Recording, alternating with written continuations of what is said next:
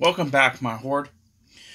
So, if you haven't already noticed, um, this probably sounds a little different than normal. And if you haven't already noticed as well, um, this episode's a little shorter. The reason for both those things is I'm recording this audio off my phone. The reason for that is apparently I didn't turn my headset on. So, yeah, I didn't record audio. And I did this for a few episodes. I think three is what I did it for, maybe more. So, uh, my argument was do I not release these at all? Or do I do like a quick, like shoving them all together? And I was going back and forth between it, and I came up with this option, which is I'm going to record my audio while watching it back and try to tell you as much as I can. And I decided doing it double speed is probably the best. Um, yeah. So at this point in time, I'm we're showing you guys that uh, I'm still working on moisture pumps, and that I'm I believe I saw John laying on the ground. And I was like, why are you laying on the ground, John? Don't you have a bedroom? And that's when I find out that they never worked on his bedroom. So, I start working on that. Uh, yeah, this there was quite a bit of just not a lot happening, and a lot of like random stuff. Like they mined the junk out of the place. I think I got one of the, like I think that person right there. It just became like a super miner, and was just mining everything which was really good. Like I went in between one of the episodes and literally found every uh, item on the map. There's like plasteel, compacted machinery was like everywhere. I even found a couple steel nodes I didn't even know about. Um, yeah, that prisoner just basically uh, got into a fight with John there. And then John was refusing to like help them for a bit there but nonetheless, he was more worried about himself than the prisoner. Um, but yeah, so there was even gold on the map, so I had them all go after that. I even make them go after this uh, section of steel nearby eventually, and expand the base even further. But I won't get too ahead of myself. At least I'll try not to. You know. Oh yeah, and then just th- this prisoner uh, has a mental break, and she just shoots him instead of punching him. I'm like, oh well, thanks. I guess that's gonna be, and then gets her butt kicked by a uh, companion. She like insulted him, calling his brother a hummingbird, I believe. Yeah, it's. I'm gonna be trying to get to it here in a second. Yeah, it's what it says on the screen. Hummingbird. So she like referred to his brother as a hummingbird. So he punched her out. I'm like, okay. Right after you kill a prisoner, you get upset and call someone else a hummingbird. Oh, man. Sometimes he spawns. But, um, see, now I'm thinking maybe I should do these quicker because I'm really running out of stuff to say.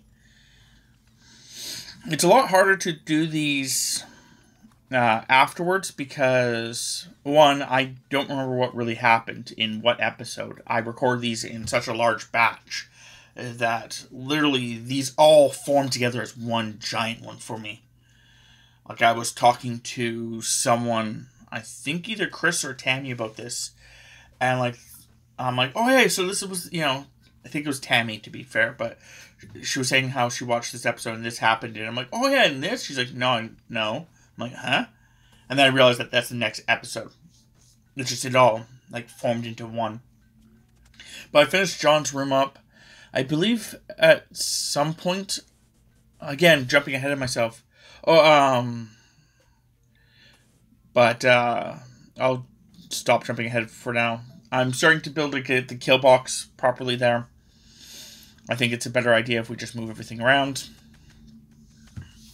So that way it's a hallway and then another hallway. At least make it a little bit more difficult. And then I'm going to be adding another room in that general area. which is where I start actually going, hey, maybe I should check the distance of it. And I realize it's going to be there. And yeah, make another room. I make another room on the other side later on. Again, jumping ahead of myself, but.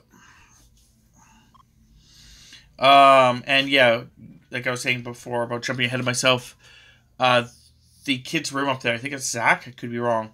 Uh, his bed, I didn't realize it at the time, but his bed isn't made of proper quality. So eventually they'll tear it down. They tear it down, then forget to build it. So. Oh yeah, the kid. For some reason, the uh, the kid was going into the prison. I uh, accidentally had the baby on the set to the wrong one. I realized that afterwards, and I go, "Oh yeah, yeah, it's a baby uh, lockdown." And then they all got sick, so we had to pull them all. I think it was the flu, but uh, truthfully, I wasn't paying enough attention just a few moments ago. And yeah, um, I run into the problem a couple times with uh, the food situation. Just food for this campaign or this series, I guess, was just a pain in the ass for me. Like, for some reason, I just kept always running into the problem that every time I went to go do something with food, I would either be running low or just couldn't output enough. I think what the problem was is that because I eventually fixed the problem. I eventually uh, believed that one of the huge problems was that the animals were eating the food, and the animals were eating two or three meals in a sitting rather than just one.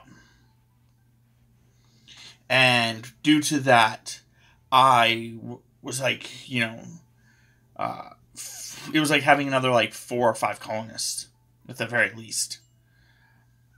I never checked to see exactly how much. Right here, I'm just sacrificing one of the people trying to get rid of them. They're all done, and, and I'm done having prisoners at this point. John is obviously still sleeping due to the fact that not having a bed kind of uh, makes you more tired. You know, sleep as well. Yeah. I'm not even close to being done with this video. I may have to speed the next one up even more.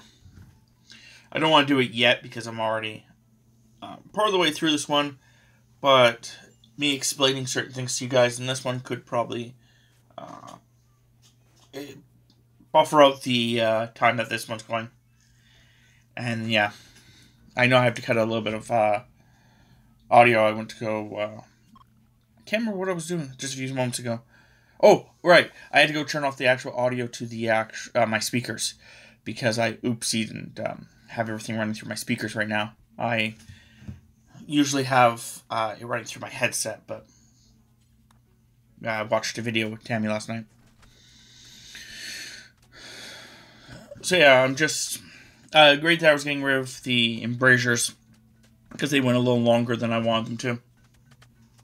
Now, anyway, um, and yeah, just it's a bunch of like actual, just straight out maintenance.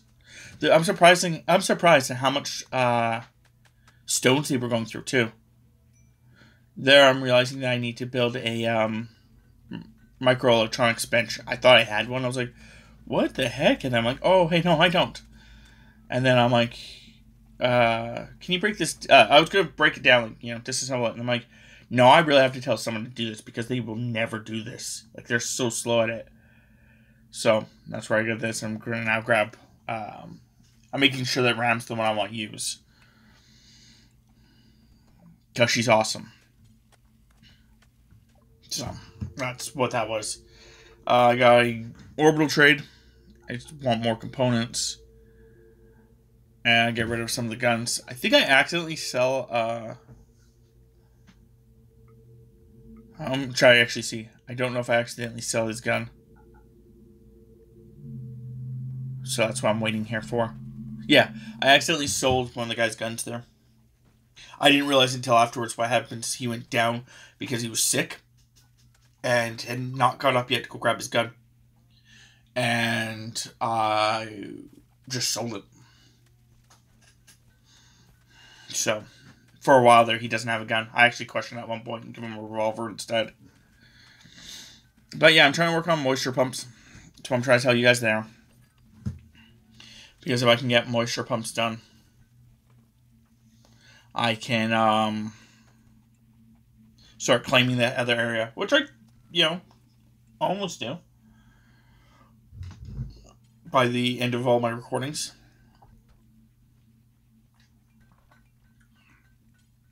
So yeah.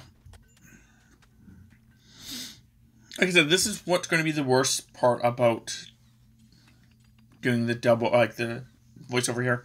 So next time I will have to push it maybe to, I'll try 300, uh, 300%. This is 200% faster.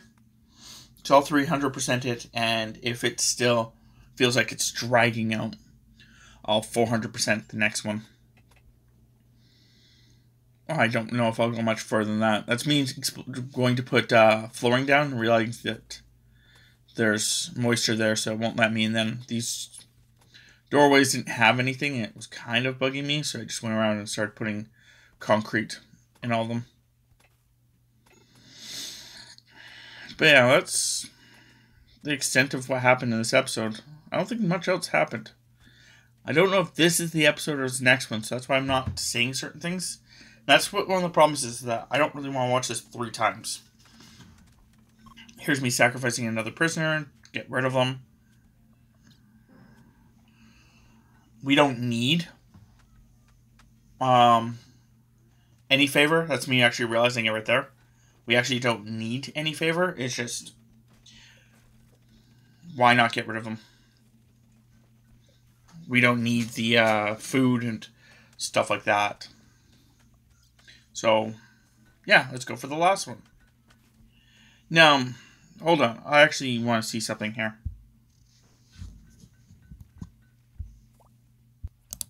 So, yeah, I just looked at it. When I actually checked the uh, altar, I actually didn't notice it the first time. I don't notice it until four, five episodes later that I can actually awaken a Cthulhu. And I guess with that information, I should kind of tell you that this series does have an end. Um, I do have a, a question for you guys when the last video comes out. And I will be making a. Oh, this is me actually going around grabbing all the uh, compacted machinery and all that stuff. Like, there's just huge amounts of steel right there. And right there. But there is a question I have for you guys at the very end of this. And that was also me, I think, deciding that I'll wait until between episodes before I grab everything else.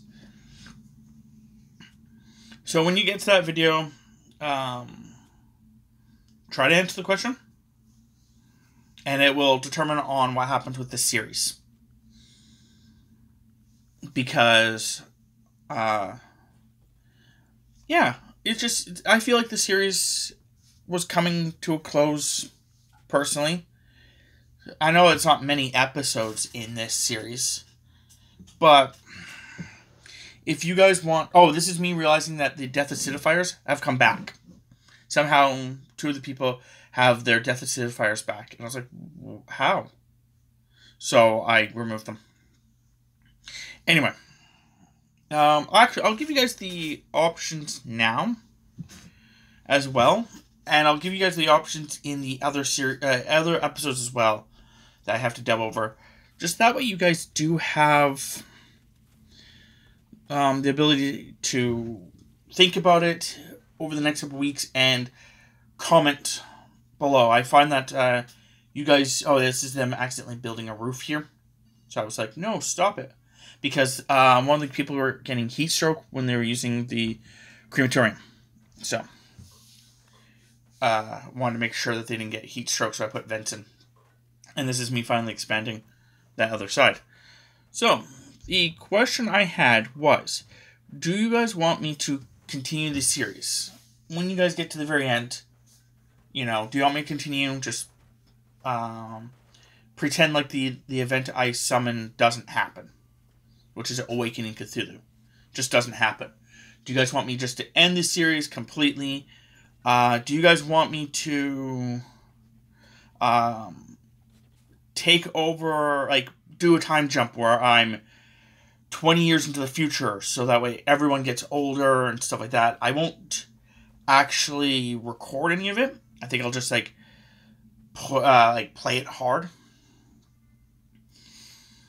Um, for you know, like uh, faster speed, and I also will um, probably put it on a lower difficulty so that way less things will spawn and I can get through it quicker. So I can see on times five more often, or times three more often.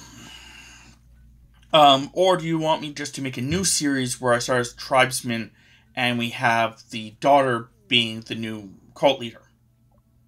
So, those are your options. I also, well, I'm getting attacked by cats. And that's, uh, the person never defended themselves because they're set to ignore.